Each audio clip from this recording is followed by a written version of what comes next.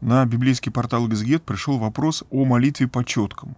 Можно ли мирянам молиться по четкам? Или это только для монахов? Как это правильно делать? А, думаю, что молиться по четкам можно всем.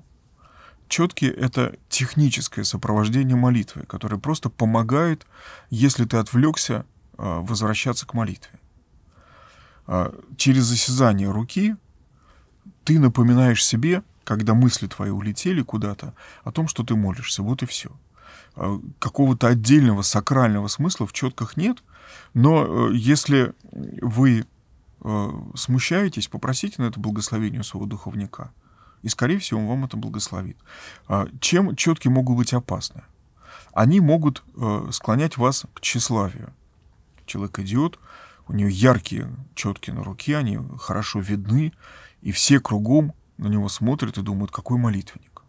И вот тогда э, мы похожи на тех фарисеев, которых обличал Христос, которые любили останавливаться на перекрестках улиц и молиться так, чтобы их было видно не только тем, кто по одной улице идет, а тем, кто по двум улицам ходит. Вот поэтому четки нужно спрятать. Или маленькие четочки телесного цвета на, допустим, безымянном пальце, или четки в кармане. Ну, если вы монашествующие, то четки могут быть уже видны, потому что они вам даются при постриге.